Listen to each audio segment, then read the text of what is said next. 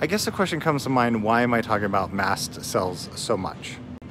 I see so many patients every day working with chronic illness for now 14 years, but every day I'm seeing a lot of chronically ill people who have particularly become ill in the last three years. And it raises a question, why has this happened? Stress, other immunological factors, and a lot of roads have pointed me back to mast cell biology. Is it an overreaching phenomena to say that mast cells interplay with most autoimmune disorders? Possibly, but there is literature showing that mast cell biology seems to impact many more autoimmune disorders than I ever thought.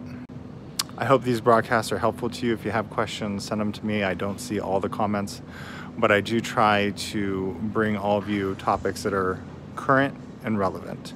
And mast cells, I'm going to keep talking about them. Dr. Randall Gates, board certified chiropractic neurologist and chiropractic physician, signing out.